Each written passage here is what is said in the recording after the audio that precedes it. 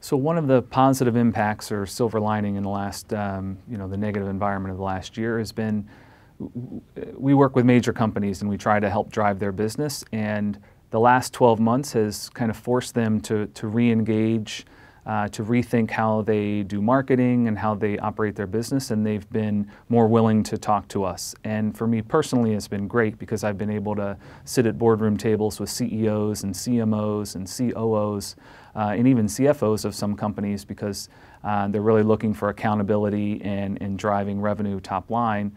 Uh, and so it's been fantastic for me because that's one of my goals is to run my own company at some point. And so I can see how these guys and gals operate their business, build their teams, uh, what's driving them, and what's important and how they look at their business. So uh, both professionally and personally, it's been, uh, it's been a good year.